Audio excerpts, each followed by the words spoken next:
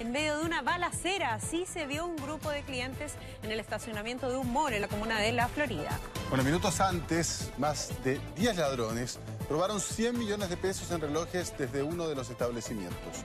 Los detalles los tiene el periodista Pablo Abarza. ¿Están esperando atrás? Vaya.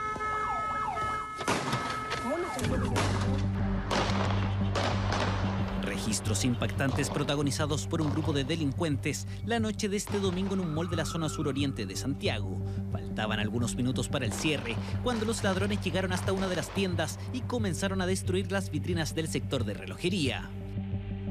Una bolsa con cerca de 300 relojes fue su botín. La gente del segundo piso eh, de París hacia Ripley, arrancando mucha gente. Claro, todo el mundo corriendo, los guardias y eso. Robo millonario del cual Carabineros ya estaba enterado. Sin embargo, los ladrones, para evitar que alguien los persiguiera, comenzaron a disparar, dejando a los clientes en la línea de fuego. Intercambio de disparos que fue captado por las cámaras de los clientes que a esa hora intentaban refugiarse de las balas.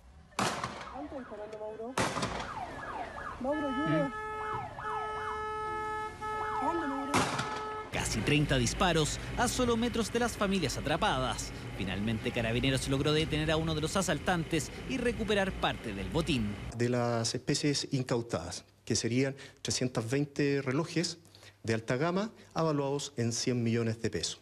Ese detenido es Eliseo Muñoz Zapata, delincuente con amplio prontuario policial y conocido por ser partícipe de un robo a un cajero automático en febrero de 2017. En aquella ocasión, uno de sus compañeros falleció producto de la explosión y él perdió uno de sus ojos. Está vinculado también a, a investigaciones por parte del S9 Carabineros en, en, otros delitos como robos de banco, robo a Servipac, robo a joyería. Pero, ¿qué hace tan atractivo para los delincuentes este tipo de recintos? Los expertos apuntan a los accesos. Estas bandas organizadas de delincuentes que cometen delitos de robo con intimidación operan en este circuito, en este gran mall, por las vías de acceso de escapatorias que tienen y generalmente lo hacen tanto a la apertura como al cierre. Finalmente, Eliseo enfrentó a la justicia y quedó en prisión preventiva al ser considerado un peligro para la sociedad, más aún al disparar poniendo en riesgo la vida de inocentes.